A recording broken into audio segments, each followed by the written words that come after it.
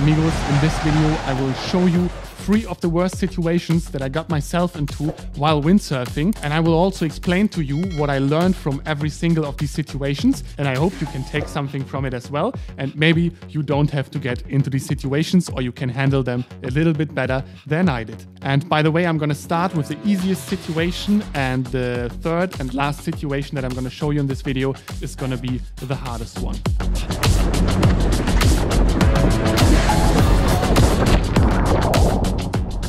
So you might be a little bit surprised, but the easiest situation is actually the one from the thumbnail, so the frontal crash that I had while windsurfing. And this happened in Tarifa, I think it was three years ago. And basically, it was a beautiful day, like most days in Tarifa. It was sunny, we had some good wind, and we were this training group of maybe 20, 25 people. And basically, we were training slalom every other day. And the special thing in this winter was that the foils became very competitive in slalom racing. So when before we all were basically on the fin as soon as there was enough wind, now half of the fleet at least was on the foil. And on that day, I have to say everything went quite smooth. I took my big 132 liter slalom board, I took my 84 slalom sail, I combined all that with my 44 centimeter carpenter fin, which I was very proud of, and we went out and we had some nice training runs. And in one of the runs that happened later that day, the accident happened and it was completely unexpected. We were starting, going over the starting line, and already on the line, I got overtaken quite closely by a foiler. And then we went down that first reach towards the mark. And all the time, of course, I was already scared. What happens if somebody crashes right in front of me? And on that day, I finally got to experience it myself. The foiler that passed me on the starting line crashed in front of me right next to the buoy and I only had maybe a second to decide what to do. And I'm gonna tell you about that in a moment.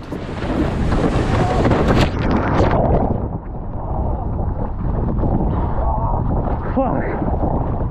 Fuck. Fuck. Oh, my legs. So this crash was absolutely terrifying. I was so scared. I was under shock when I was swimming in the water. And I just said, uh, sorry, sorry, are you okay? And I hope nobody got injured. And what I want to do now is tell you guys what you can do if you get in a situation like this and how you can prevent at least the worst case injuries with quite some good chance. So as you saw, as the crash happened, uh, the guy, Martin, he's called, uh, he flew to the right and I, of course, tried to avoid him. So I went to the left, upwind, which is almost impossible to do uh, when you're hooked and when you're on both straps. Um, but I managed to do that a little bit. So I avoided his mast and I avoided him. And I think that prevented the worst damages. And the next thing, and back then I didn't know that this is what you are supposed to do, uh, that I did was I let go of the equipment. I unhooked and I just let go of the sail. When I went into his board, I didn't try to hold my sail. I didn't try to still avoid it. Like half a second before the impact, I let go. And this is basically the advice that I can give to you guys.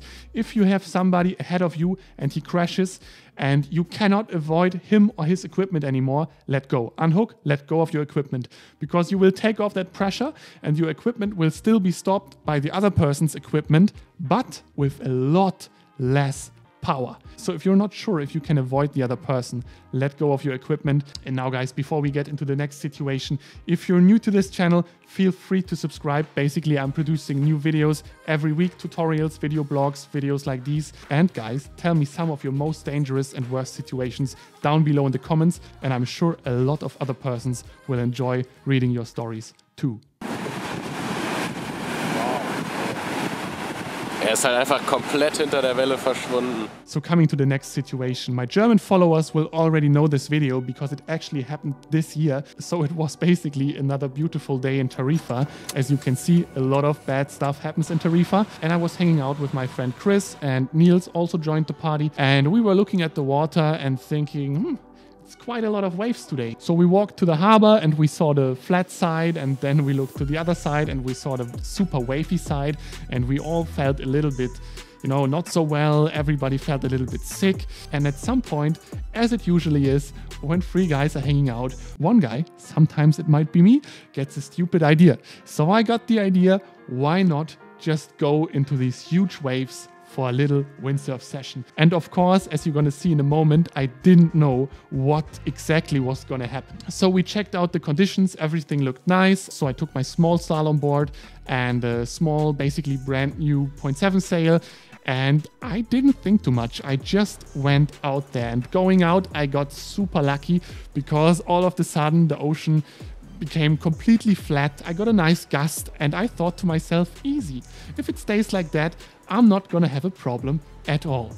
But of course, this is not what happened. What happened is the following. I was sailing a little bit further on the outside and Niels filmed the whole thing with the drone and then the waves picked up and some huge sets rolled below me. And I could already feel that this situation might become very dangerous. But I kept sailing basically because I also didn't know what else to do. You know, the drone was up in the air. We were filming a little bit for YouTube. There were these huge waves, and I also knew, okay, the footage might look nice in the end. But the waves kept getting bigger and bigger and bigger. And at some point, a set came through that was almost mast high. So my mast that day was four meters and 50 centimeters high. So these waves were basically like houses rolling below me while I was windsurfing. It was an insane feeling. On top of the wave, there was a lot of wind. When you went um, down from the wave, there was almost no wind. And after that wave, I was almost shaking a little bit and I knew, okay, I need to get out of the water because if the waves pick up even more and if it becomes low tide, then I'm in serious trouble. So what did I do? I went a little bit upwind because we had offshore winds, which was also extra dangerous. And I basically tried to sail back to shore. With all my heart, just went straight towards the beach. And then the worst case happened. Right in the shore break, the wind completely died off because we were right next to Tarifa City and it's sometimes quite gusty and patchy and the wind was also supposed to go down. So I tried to water start my equipment and then basically the swimming session started and normally if you're in a situation like that it is very likely that you break your equipment or at least you know your mast or some battens or at least something but in that situation and i don't know why very often i do the wrong thing in these situations but in that situation I did the right thing. And this is also what you now can learn from this situation. How do you avoid that everything breaks? Basically, you place your equipment in a T shape in the shore break. And you now might be wondering, what, what do you mean with a T shape? I basically mean like an anchor. So maybe it makes a little bit more sense like this. So imagine the waves are coming from here toward that direction. You place your equipment like this. This is your board, this is your sail. The sail and the mast is facing straight into the waves, and the board is like this. And the board is probably not gonna break unless you get into some of these really huge waves. If it's like medium sized shore break, as you're seeing now, you're placing your equipment like this. And now, every time a wave comes, you duck dive your sail. So you put all your weight on the top of your sail and you push your sail as deep as you possibly can into the water. What happens like this is if the wave breaks straight on top of your sail, it first hits the water that is now above your sail. And like that, you avoid a direct impact basically on your battens, on your mast, and so on. And most of the time, if you do this, you avoid breakage of your gear. And of course, if the waves reach a certain size, you cannot do anything anymore. And also, if you don't have the time to place your equipment like that, you can't do anything anymore. But a lot of people are lifting their equipment above their head, trying to lift it above the wave. And if a wave is not a small wave anymore, but actual big shore break, this can go very wrong and a lot of times breaks your equipment. And the second thing that happens if you do what I just told you is that the waves drag you in. So in the situation I was in, we had basically low tide coming and the current was going out.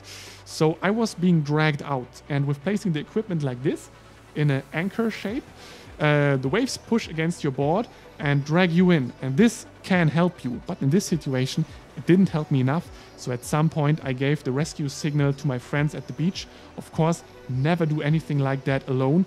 I also would never do something like this on my own.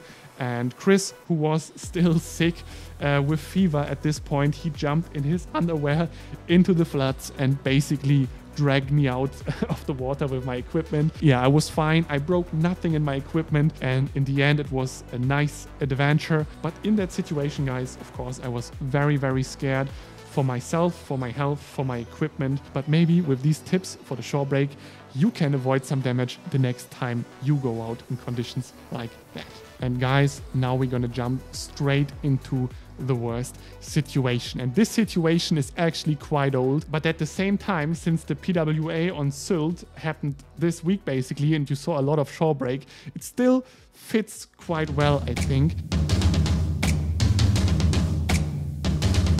And I also want to give you a quick warning. You're to see blood now. So um, you're to see some actual injuries. you're to see me in the hospital. So if you can't see any blood, you might want to skip this part. And since this is the last part of this video, of course, to not miss any of the future videos, then again, hopefully without any blood, subscribe to the channel. And of course, your stories and comments and questions below are very appreciated. But let's continue with the situation. It was Sylt, it was the German Championships.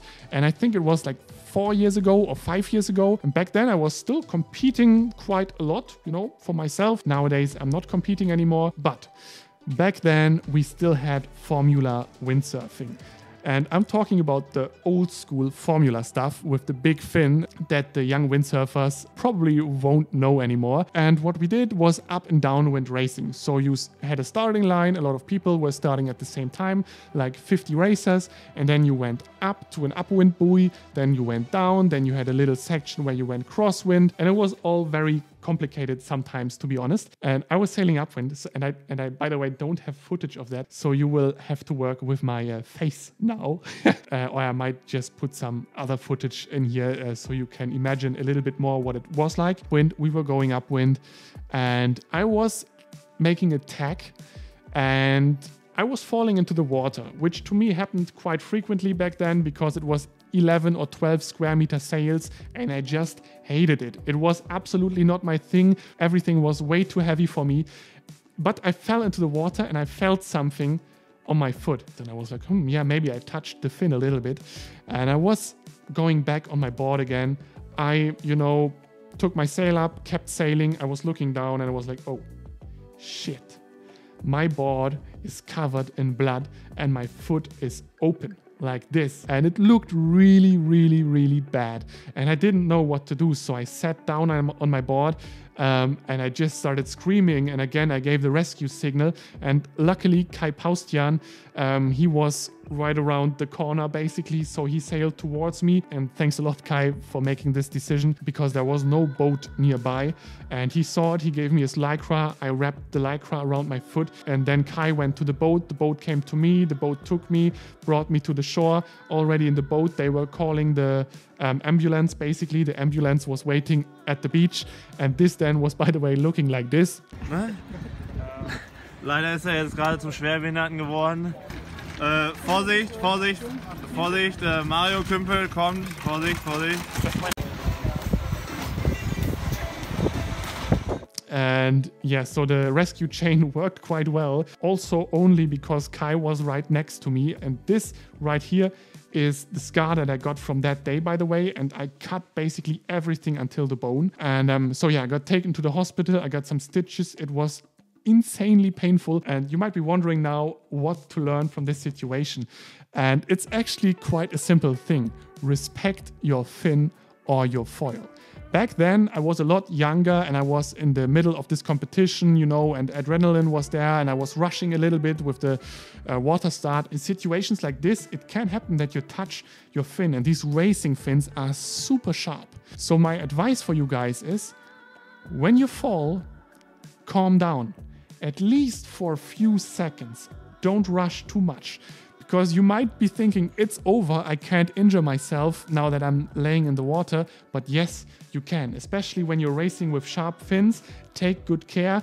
And if you are really scared of your fins, of course, you can buy yourself some wetsuit shoes, but that's not for me. I don't like that feeling. When stuff like this happened to you once or twice, you really get some respect for the sharp parts of your equipment. And luckily, I learned my situation, so this stuff never happened to me again. But yeah, guys, these basically were now three situations where I hope you maybe took something away, at least some entertaining and some windsurf vibes maybe. And as I said, you can let me know your situations down in the comments below. Of course, leave me a thumbs up if you enjoyed the videos, subscribe to the channel to not miss any of the future videos. And if you need any kind of windsurf equipment, of course, a little advertisement at the end. You can check out our online surf shop, The Windlounge. We are happy to help you guys, so hit us up. It's linked down in the video description. And I would say we see each other in the next video. My next trip is to the Netherlands. Maybe I'm gonna see some of you guys there. And of course, I'm gonna film all that. So see you then, guys. Bye bye. Until the next one.